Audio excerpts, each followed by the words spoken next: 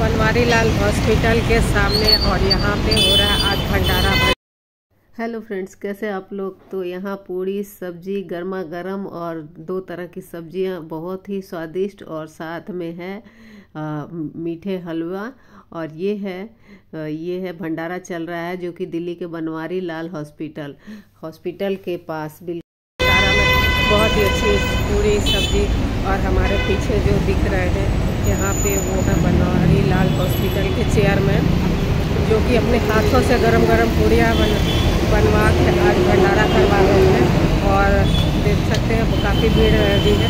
आने जाने वाले लोग, रास्ते के लोग, सारे लोग इकट्ठे होकर गरम गरम पूड़ियाँ पूड़ियाँ, सब्ज़ी, दो तरह की सब्ज़ी है, हलवा है, मैंने तो खा लिया, लेकिन बहुत सारे लोग खा रहे हैं, ज़रूरतमंद लोग खा रहे हैं, हॉस्पिटल में आए हुए लोग खा रहे हैं। कुछ ऑटो वाले ऑटो वाले भी यहाँ पूरी सब्ज़ी, गर्म पूरी सब्जियों का आनंद ले रहे हैं। तो मैं अभी बात करूँगी बनवारी लाल हॉस्पिटल के चेयरमैन, जो कि अभी अपने हाथों से खाना परोस रहे हैं सभी को। उसके बाद जैसे ही ये फ्री होते हैं तो मैं बात करूँगी। बनवारी लाल हॉस्पिटल, और यहाँ पे देख सकते हैं पेशेंट, और ये बनवारी लाल चैरिटेबल हॉस्पिटल है। और ये अपने पिता के श्राद्ध के उपलक्ष्य में आज जो भंडारा रख रहे हैं। तो ये इतने सारे लोगों को भंडारा करवा रहे हैं। तो मैं दिखा सकती हूँ। ये है यहाँ करोल बाग स्टेशन पे है।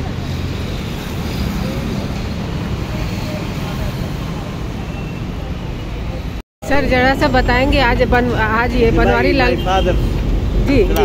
अच्छा अच्छा अच्छा श्राद्ध के उपलक्ष्य में आप जो रख रहे हैं। ठीक है ये तो सर, सर हर साल रखते हैं ये? Thank you, thank you. बहुत ही अच्छा अच्छा हर साल करते हैं। बहुत ही स्वादिष्ट भोजन बनाया अपने और गरम गरम अपने हाथों से सर परोस रहे हैं। सर का नाम एक बार बता दीजिए। हर साल करते हैं सर। हाँ।